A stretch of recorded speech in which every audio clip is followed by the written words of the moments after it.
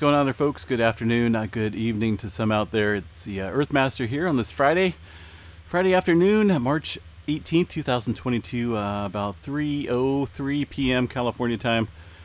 Latest quake out there shows a 3.0 into the region of Southern California right now. Let's go ahead and check out this activity showing up here on the map from the USGS folks here. You can see that in that red circle there, indicating that most recent earthquake there around Lone Pine, 3.0 at 6.5 kilometers. This is a 2.5 map and above, so little activity striking over a good portion of southern and central California today. Also low activity just outside of Salton City, California, west side of the Salton Sea, 2.9 at 6.7 kilometers. Let's go ahead and add the all magnitudes, get a little uh, brief detail of any further swarming activity, and there's really not a whole lot uh, right now. Uh, it could kick up, no doubt. Uh, this earthquake here, the 3.0, just outside of Mount Whitney, which sits here to the west. It is at the Owens Valley fault zone, just off of there, um, just a couple miles off of there from the 1872 rupture. A pretty large earthquake struck back then. And just to the east here, it looks like around the Owens uh, Valley uh, River area.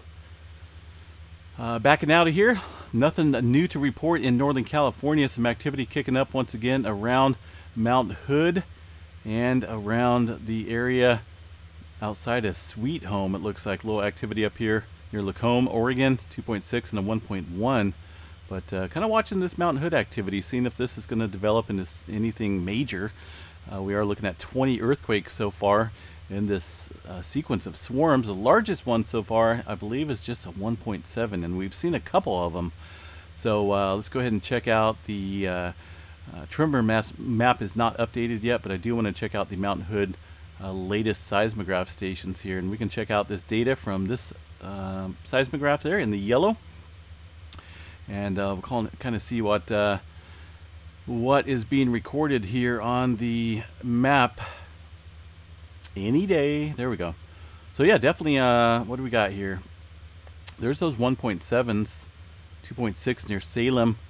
Uh, so definitely some activity kicking up there. Nothing within the past couple hours, it looks like, but uh, swarms do happen at Mount Hood. They um, actually pretty common. It's been a couple months since we've had a swarm up there, but uh, they do pick up on occasion. Yellowstone National Park, uh, some activity here. About nine earthquakes being reported from the USGS folks and the overview here of Yellowstone still shows activity kicking up here around this region of the park, around Borehole, right around the Lake Yellowstone area. Quite a bit of a very small earthquake, but uh, swarming nonetheless. Uh, looking at the rest of the country, some scattered activity throughout Texas and Oklahoma. Nothing major at the moment. Uh, what do we got out here on the Big Island? Some activity kicking up here, southeast region. Latest quake at 2.1. No major swarming at Mauna Loa. Uh, Japan did see some fives kicking up here once again into the Japan Trench, couple lower grade fives. We're starting to see a little uptick in magnitude over here west Japan or southwest Japan over here around Taiwan just to the northeast of here 5.9 this one pretty deep 167 kilometers so we've seen a really big push of energy here since the uh, 7.3 that struck off the coast of Japan a few days ago. So, got to watch the uh, the Taiwan and this area around the East Sea, East China Sea, uh, pretty closely for uh, possible large-scale movement. Uh, there's a movement, deep activity into the Fiji Islands area. This is some older movement. We have not seen any further subsequent activity in that area, uh, although a 4.5 into the North Island, um, New Zealand area. Um, this earthquake, 47.4 kilometers. Of course, the Hikurangi subduction zone around here. Uh, it's a pretty deep earthquake within that region. Also, earthquake activity here around the east or western, southeast Indian Ridge. We've got a couple different names here. Uh, 5.0 at 10 kilometers. Uh, let's see what else we got. Um, not a whole lot going on right now throughout the Med uh, Middle East or Mediterranean. Looks pretty quiet uh, at least according to the uh, USGS model. So we'll see uh, how that uh, picks up, if it will. Earthquakes Canada, some movement off the coast here of, uh, looks like the um, Vancouver Island ranges and up here along the northern end of the Cascadia subduction zone, just to the west here, seeing some activity. One earthquake here in the purple circle, indicating the most recent quake here near Gold River, BC area, at 2.2 kilometers. Uh, rest of Canada looks pretty quiet throughout the uh, Alberta region eastward, and uh, low activity over here around Quebec. But uh, overall, just another day up there in Canada, right? All right, folks, um, let's see what else we got. Um, solar weather is pretty dim at the moment.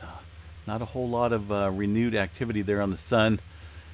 Just kind of watching the severe weather threat in Texas Monday. Make sure you stay uh, tuned in to this channel uh, for some live storm chasing as we go out there and uh, see if we can't uh, catch a tornado or two out there around eastern Texas. But uh, like I say, be weather aware if you're out there and you are in the area.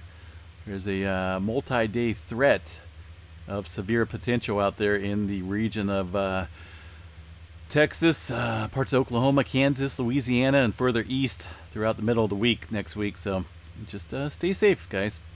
We'll chat to you a little bit later. Have a good night. Peace out, everyone.